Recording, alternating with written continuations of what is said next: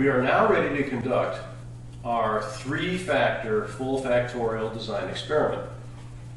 The three factors we had were the underwing fold, let's grab one of these, whether or not we had an underwing fold, whether or not it was square or had a point, and the length of the body.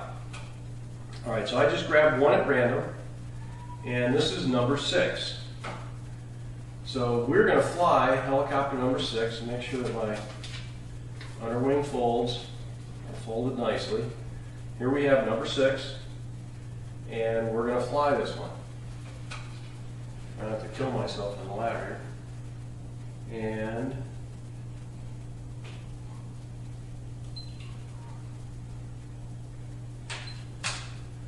two minutes, no, two seconds and nine. 2.9. Number six. 2.9. Yeah, two minutes. All right, we grab another one. At random. Number two. Here we have number two. Let's fly that one. And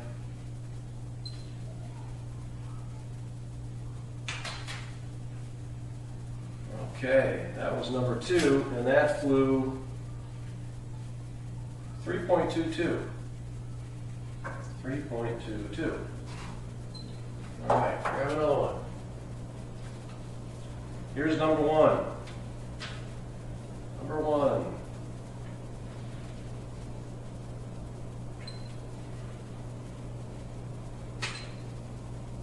Two point eight seven. Number one. Let's see, what do we got here? Ah, number seven. Here we have number seven.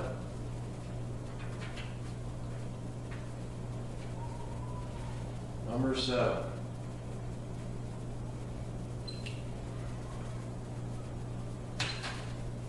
Two point eight one for number seven. Two point eight one.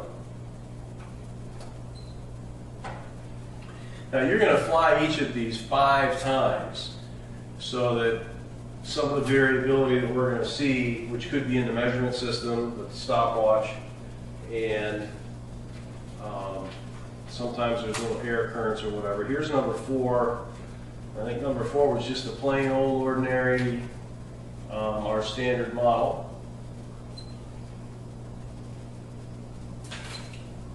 Two point nine seven.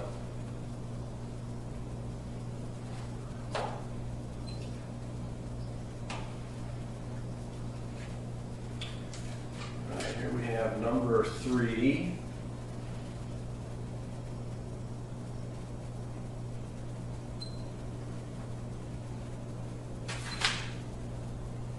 Two point nine.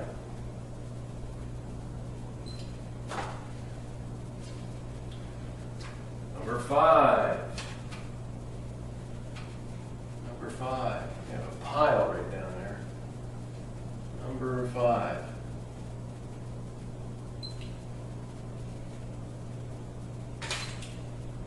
3.19 to number five. 3.19. And the last one, the one we've been looking for, number eight. Okay, here's number eight.